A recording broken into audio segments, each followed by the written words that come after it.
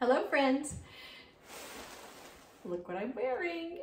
Today I want to tell you about a trip that we're going to take to see the Northern Lights. We've been preparing and buying all kinds of warm weather clothing. So I'm wearing the Arc'teryx Alpha and it's 850 uh, down fill. It's supposed to be impervious to weather and super warm. I'm super warm right now.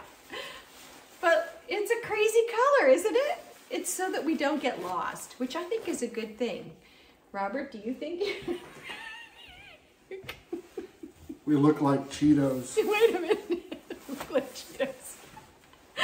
So we're a little bit um, reluctant because of the orange, but you know, I think that they're really going to keep us warm. Now, the black was not in stock, let me just say that. We wanted to get the black because it's very slimming.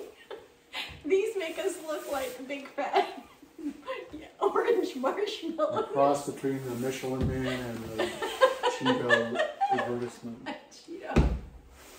So, you know, I'll update you on our preparations, but this was our first big purchase and we're almost happy about it. We hadn't waited until the last minute, we could have gotten black. But then if we got lost, we would be wandering around. And... See, I think, I'm pretty certain you can see me here. Yeah, you can see him. And so we're, we're practicing not getting lost. see, he's practicing.